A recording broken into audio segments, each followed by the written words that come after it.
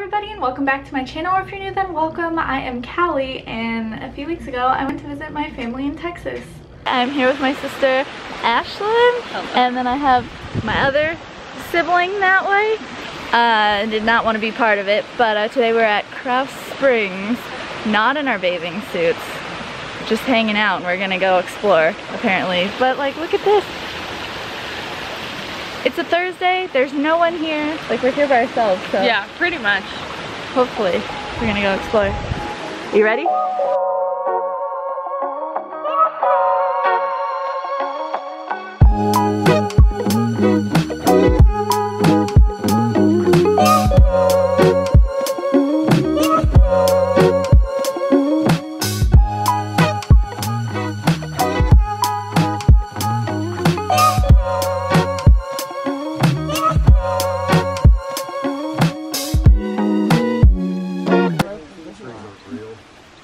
You're doing great.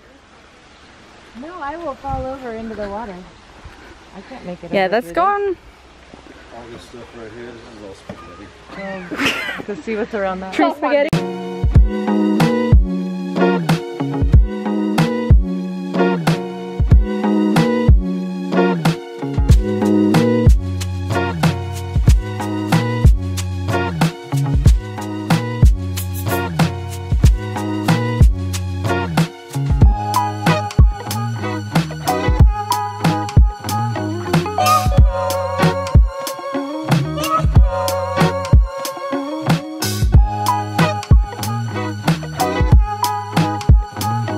So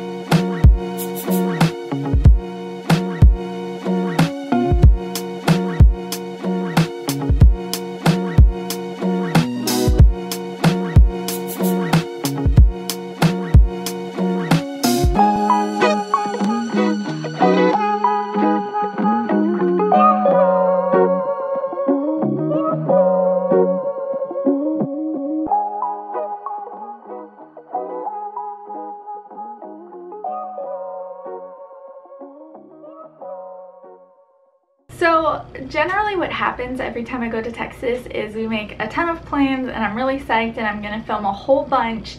And then uh, it just sucks me in. And we wake up every morning and go downstairs and cuddle with all my mom's little dogs. And you know hang out and then in the afternoons we go out and do stuff and to the point that by the end of the week I didn't even bring my camera anywhere. Starting on Thursday we went to Krause Springs which is the only thing I showed you guys and it was really cool. It was a Thursday, there was no one there. There was a few people arriving by the time we were leaving. Um, unfortunately, it was kind of a last minute decision, so neither Ashlyn or I had our bathing suits to be able to go swimming, but it was still kind of cool to just even like walk around and walk through their little garden and everything. I believe Krause Springs works on a first come first serve basis, which worked out very well for us. Then on Friday, my mom took us to a little crystal and gem shop. I will put the name in the description box down below because I forget what it is. I feel like Rocks is in the name, uh, which sounds silly. But um, anyways, I got some new little, little babies. So it was really cool. This is my first time getting into crystals um, and learning a lot of what they meant. So I got a clear quartz, a smoky quartz, a very tiny rose quartz, an aventurine, calcite, an onyx, a bloodstone, a rhodochrosite. I'm gonna butcher the pronunciation of this one, but I believe it is seraphinite. I did not pick this one out. My mom picked it out for us. I did also get a smudge stick for manifestation. I used it for the first time on Sunday. I made sure to look up how to use it correctly. Um, and it smells so good. Okay. Saturday we went to Six Flags Fiesta Texas for their little like horror thing fest. I don't know what it's called. Um, anyways, it was fun. Um, so they do spray down the rides at regular intervals. There are also like hand sanitizing stations after like immediately after you get off of each ride. And then also you do have to wear a mask the whole time. So I felt pretty safe being there. Um, and they had like stickers all throughout the line so you could like space yourself out. Um, that being said the Halloween aspect of having actors all the actors were behind fences and again I know it's for safety's sake but it was not scary at all it was kind of fun to watch um, but if you love being scared love haunted houses and Halloween and stuff like that it's kind of a bummer. it kind of sucked, but it was still cool. And like their answer to make everything spooky was like fog. They just pumped out a ton of fog and that stuff was so nasty to breathe in, especially wearing a mask. And as a cherry on top on Sunday, I actually went and got a tattoo. My mom's husband is a tattoo artist and a great artist in general. He does comic books. Uh, his information is going to be down below, Mike Barentine. Uh, and he did my tattoo. Uh, I'm going to put a picture of it because it's on my back and I don't... Uh, it was quite the experience having my first tattoo. The first hour I was so confident and like, I'm killing this. I don't know what people are talking about.